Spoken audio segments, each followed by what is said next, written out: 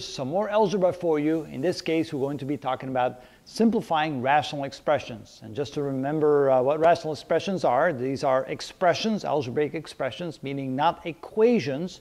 That means there's no equal sign anywhere. These are simply algebraic expressions that are written in a fraction form with a numerator and a denominator. So that's what they are. And simplifying means that we're looking for common factors in the numerator and the denominator so we can simplify the expression. We can cancel out things in the numerator and the denominator. All right, looking at our first one here, we see a 35 and a 42. Uh, they're both divisible by 7. Okay, I see an n square and an n square, and I see a y cube and a y cube. So the n squared in the numerator cancels out the n squared in the denominator, and the y cube here cancels out the y cube there. And 35 divided by 7 is 5, and 35, uh, 42 divided by 7 is 6. So this can then be simplified to 5a divided by 6b. All right, let's look at the second one.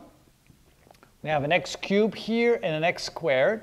So I can then divide x uh, cubed by x squared, and I'm left with an x, and this is simplified to just a 1. I have a y in the numerator, no y's in the denominator, so I leave that alone. I have a z to the fourth and a z cubed here. So z to the fourth cancels out to a z, z cubed cancels out to a 1. Then I have a 20 and a 4. 4 goes into 25 times, so I divide the numerator by uh, 4, I get a 5. Divide the denominator by 4, I get a 1. I can't forget about the negative there. Now notice I have nothing but 1's in the denominator, so this can now be simplified to a minus 5x, y, z. Okay, so those are fairly straightforward. We just simply look for things that are common in the numerator and the denominator and then canceling them out. But now when you see something like our next problem, it's not as straightforward. In this case, we probably want to go ahead and try to factor the numerator and see if we can simplify something. And if I look at that, I recognize that as being the difference of squares, so I can write that as a product of two binomials. Matter of fact, I can write this as x plus 4 times x minus 4. And of course, I still have my denominator x minus 4. And then you realize, ah, I have an x minus 4 in the numerator, I have an x minus 4 in the denominator.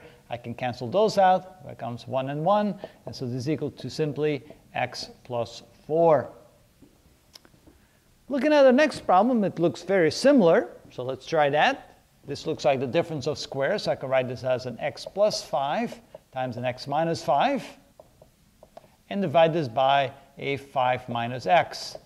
Now you say, well, okay, here I must stop because I don't see something common in the numerator and denominator.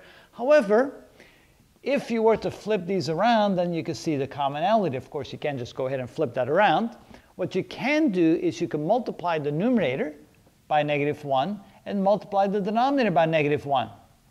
Now, I'm only going to apply the negative 1 here to the denominator. I'm going to leave it like that in the numerator, so nothing has changed yet as far as the value of that expression. So I can now write this as uh, x plus 5 times an x minus 5 times a minus 1 divided by when I apply this, negative 1, this becomes a minus 5, and I apply this over here, that becomes a plus x. And then if I rearrange that, just so you can see that this is really the same as that, I can write this as x plus 5 times x minus 5 times a minus 1, all divided by an x minus 5. And now I can see that this cancels out that, so this is a 1, this is a 1.